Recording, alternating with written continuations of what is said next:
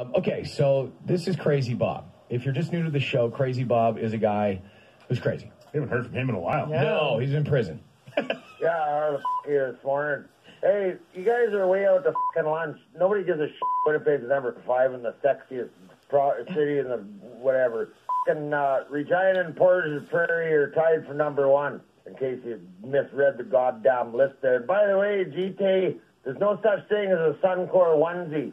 For f- sakes, they're all fucking made by Helly Hansen. They're called long underwear, and they don't have sh- flaps in the back anymore either. They're, they're like a fucking pajamas. You gotta watch when you do them up in the middle of the night. You don't get your caught in the zipper. Anyways, have a good day. Keep your warm. Yeah, I guess that was uh, to do with the oh Suncor onesie. I don't even know how that came up. You, uh, Something about the oil rigs. Yeah, you made a joke about it yesterday. I can't remember what it was about either, but it was pretty funny. Yeah, uh, I don't know. You just meant like the coveralls, whatever. Yeah, Yeah, coveralls, overall. yeah. I called it a onesie. I yeah, you I called it a onesie, overalls. but you meant though like the word coveralls. Yeah. Yeah. He calls them long johns. Sorry, that's the industry term, long johns. My bad.